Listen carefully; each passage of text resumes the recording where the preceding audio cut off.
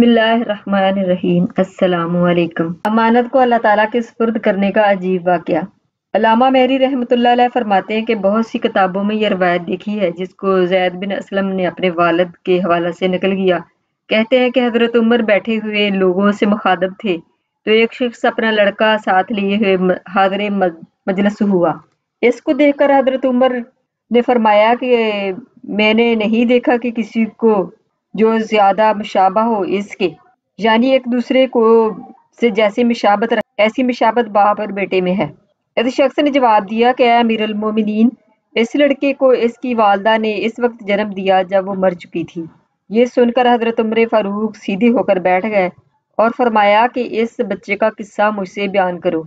चनाचा इस शख्स ने कहा कि ए मीर मोमिनीन, एक मरतबा मैंने सफ़र किया अरादा किया इस वक्त इसकी वालदा को इसका हमल था।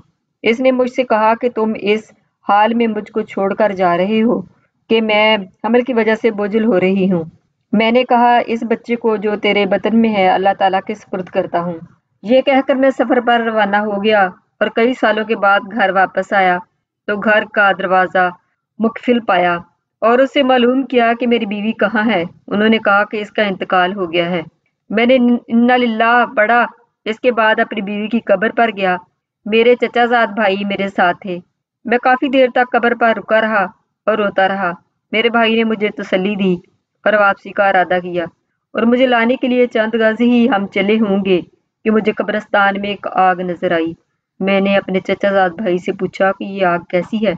उन्होंने कहा कि ये आग रोज़ाना रात के वक्त भाभी मरहुमा की कब्र से नमोदार होती है।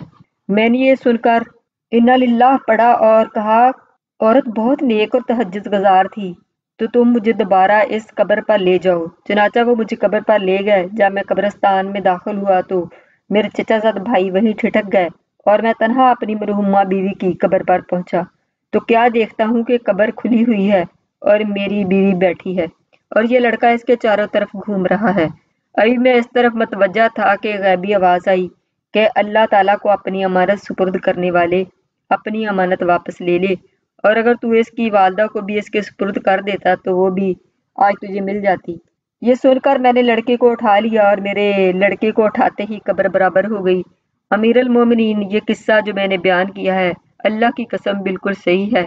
हयातुल अहवान, जल्द नंबर दो, एक सौ, सफ़ा नंबर एक सौ अस्सी। आज की मेरी वीडियो आपको पसंद आए तो इसे लाइक और शेयर करें और सब्सक्राइब ज़रूर कर लें ताकि मेरी हर आने वाली वीडियो आपको जल्द हासिल हो सके। हम इतनी मेहनत करते हैं प्लीज़ कमेंट्स क्या करें और पता चले कि आपको हमारी वीडियो पसंद आ रही है या नहीं।